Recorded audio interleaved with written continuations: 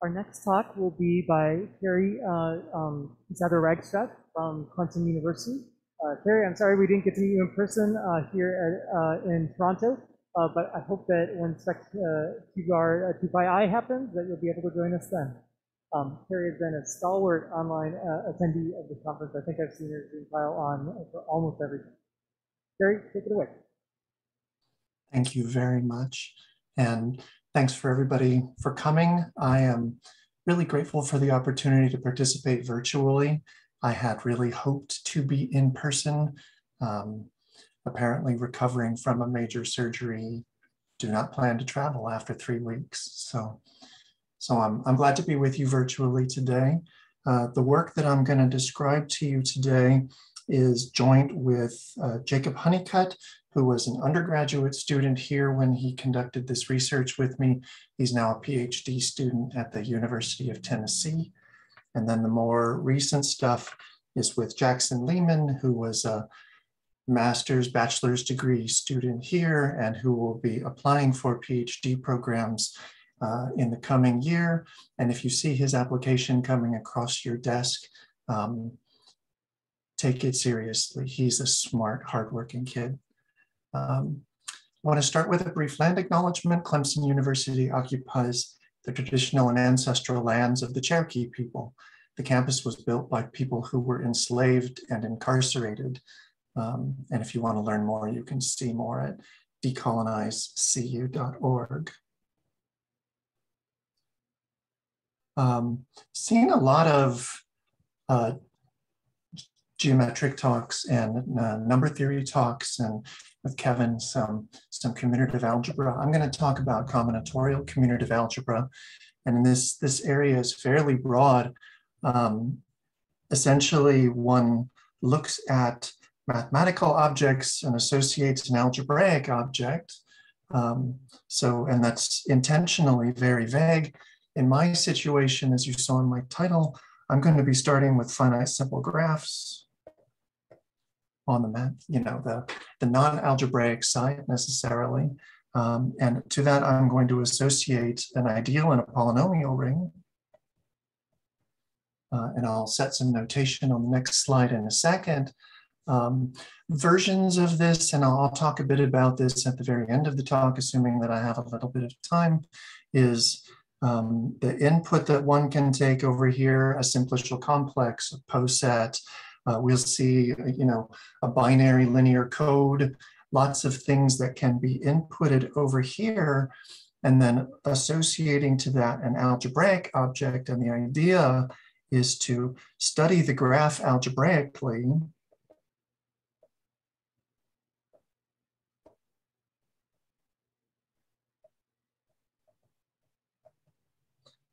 Uh, or if you like, to study the, the ideal combinatorially.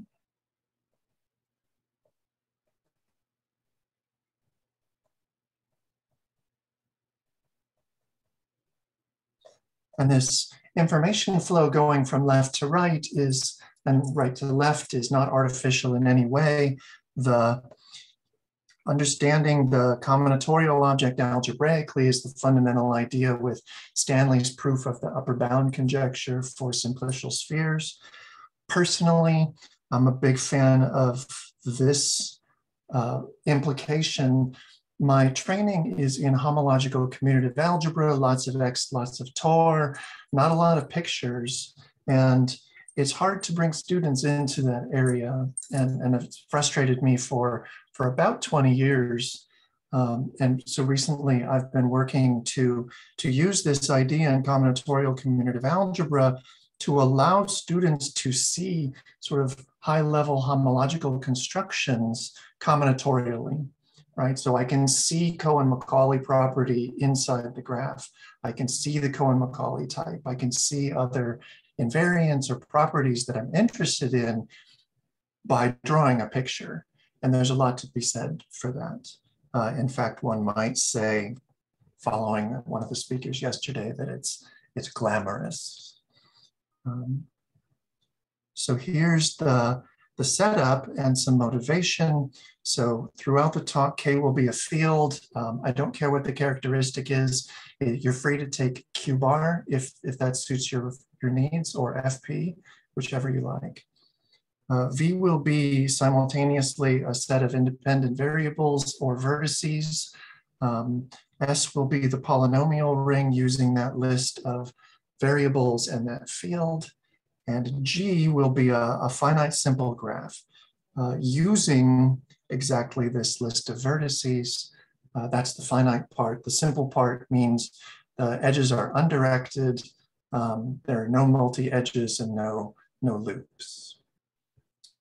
So in 1990, Rafael Villarreal introduced the edge ideal of the graph, which is in some sense the naivest thing that you can do once you accept the idea that the variables can be vertices and vertices can be variables, is to take the ideal inside that polynomial ring that's generated by the edges of the graph.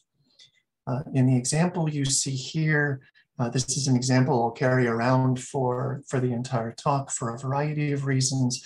I have five edges and six vertices, and that edge ideal is generated by the, the five edges.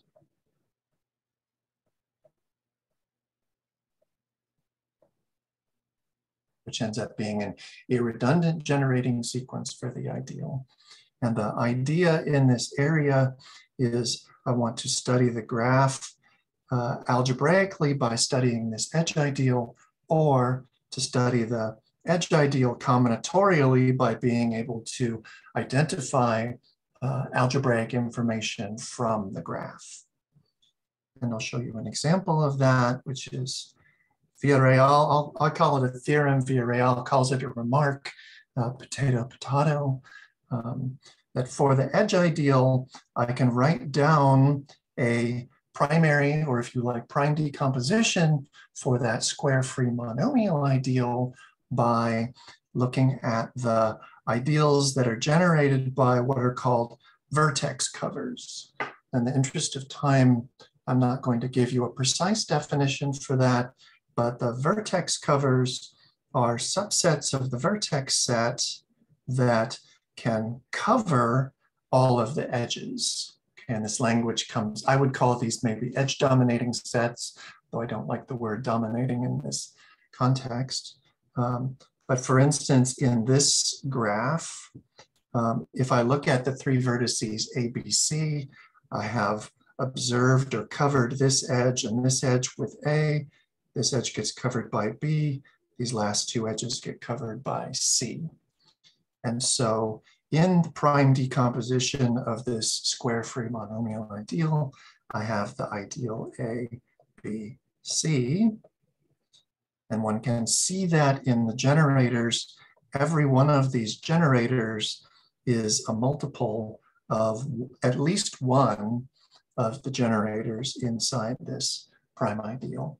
And once you realize that that's the point, then the, the proof of this actually becomes quite straightforward using basic properties of uh, monomial ideals.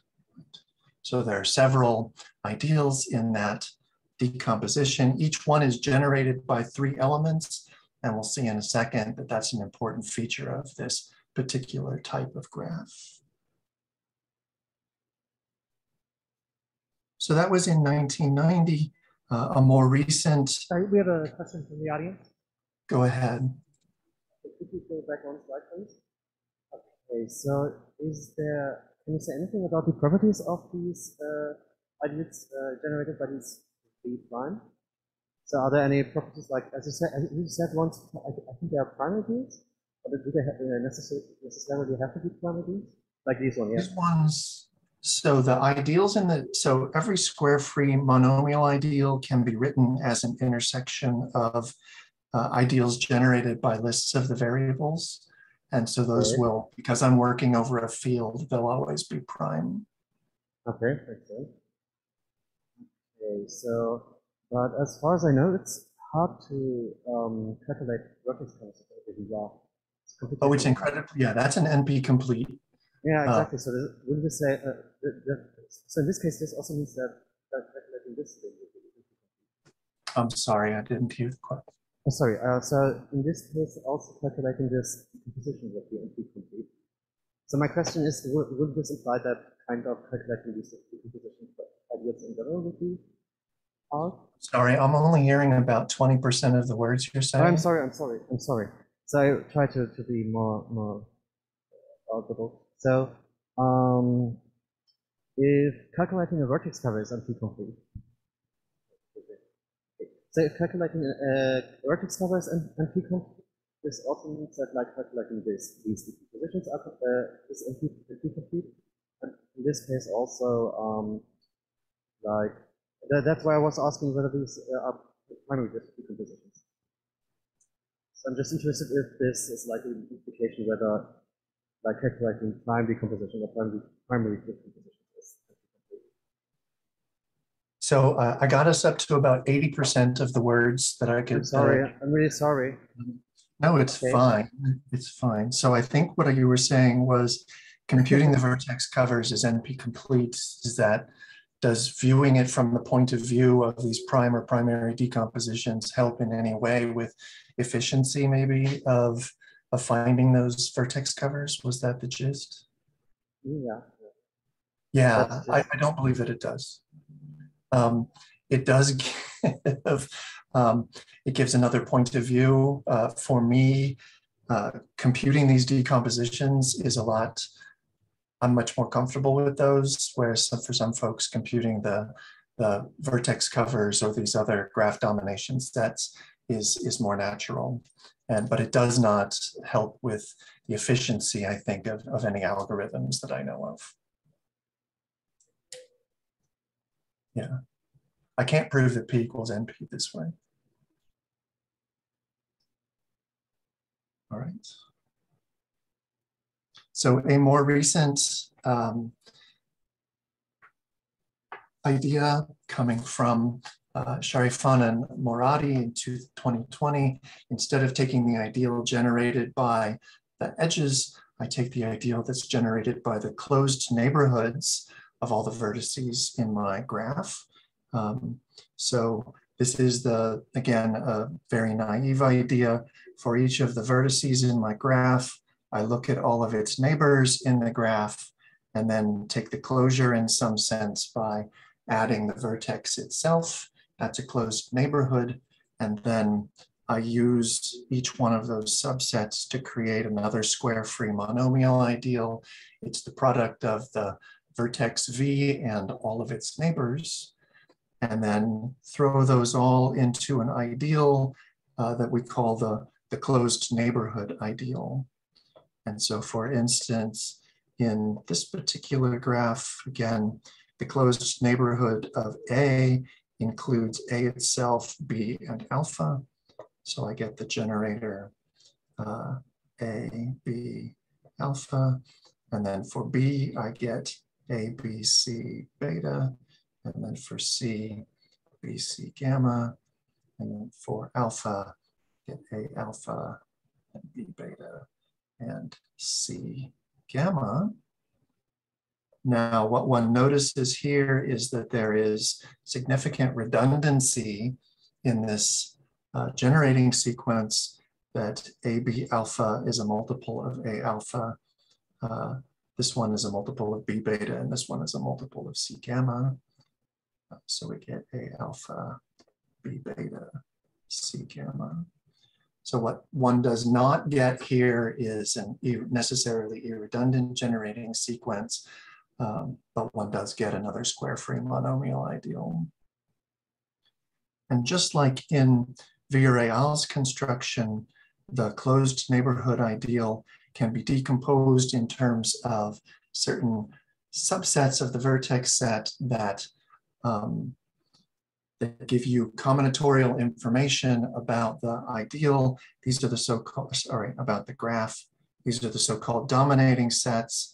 Uh, computing the dominating sets or even the size of the smallest dominating set for a given graph, even for trees, is an NP complete problem again. So computationally, this is uh, expensive, but what the idea is that dominating sets what you need to do is you need a subset of the vertex set that dominates every closed neighborhood.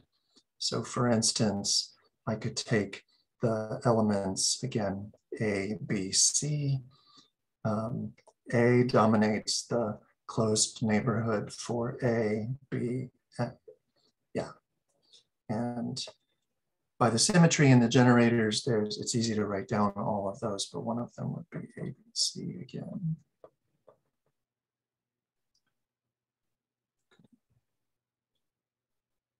One of the, the things that I'm most interested in is the Cohen-Macaulay property. So as I said at the beginning, looking at these um, homological invariants of the ideals that are constructed.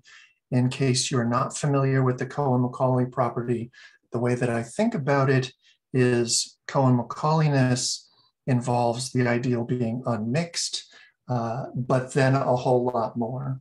And Kevin in the previous talk reminded us of the famous Hochster quote of life being truly worth living when you're in a Cohen-Macaulay ring. Um, and so in general, Cohen-Macaulay implies unmixed, uh, but for most ideals, the converse fails catastrophically from a algebraic point of view, and, and I don't know if this is true com computationally or not, but it's generally easier to verify unmixedness than it is to verify Cohen-Macaulayness.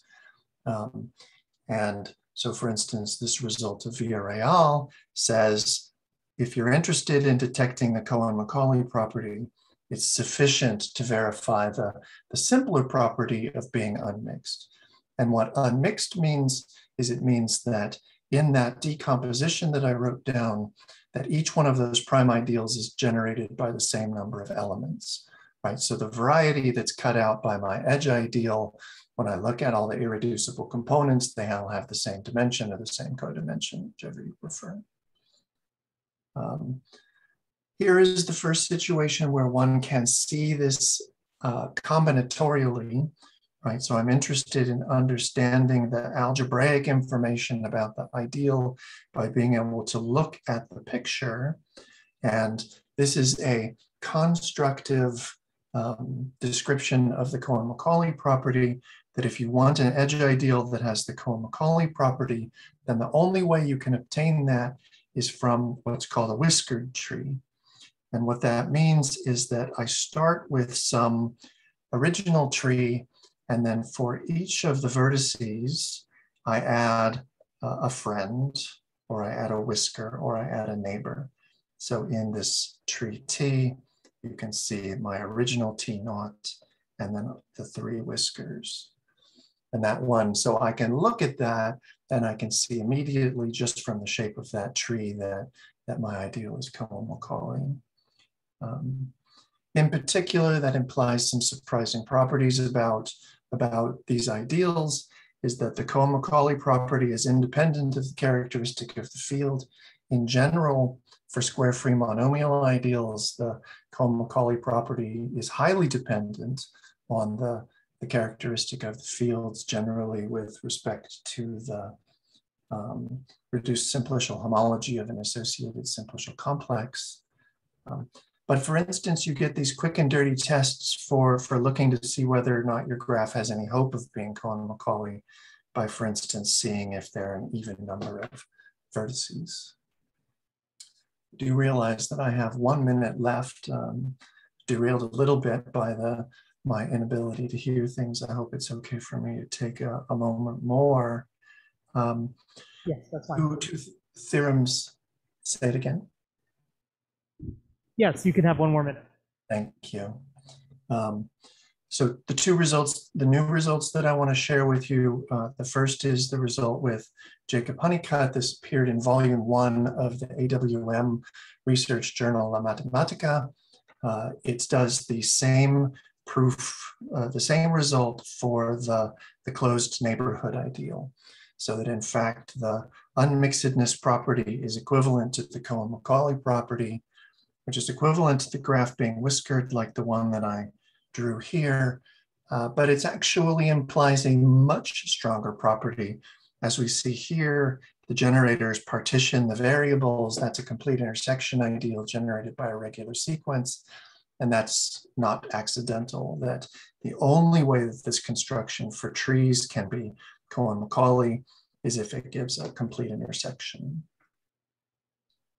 And the last new result um, is one with Jackson, Lehman, which is in preparation, uh, where we also characterize the Cohen-Macaulay's property for the Cohen-Macaulay property for bipartite graphs, um, where again, the characterization, and this one surprised me because the edge ideal characterization for bipartite graphs of the Cohen-Macaulay is got a lot more flexibility than this, but for the closed neighborhood ideal, again, the only way you can get that is from a whiskered graph, and that automatically implies that the the ideal is a complete intersection. So again, sort of strongly independent of the characteristic of the field. I'll close with a, a snapshot of some other aspects of this that I'm particularly interested in. Um, the in particular, the one project that I'm keen on is looking at code word ideals, which give connections with coding cryptography and information theory, uh, and also connections to electrical engineering, where we give a way of constructing electrical power systems where one can solve the PMU placement problem, which is in general also NP complete, um, by constructing your power electrical power systems in a smart way. Um, and with that rushed end, uh, thank you all very much.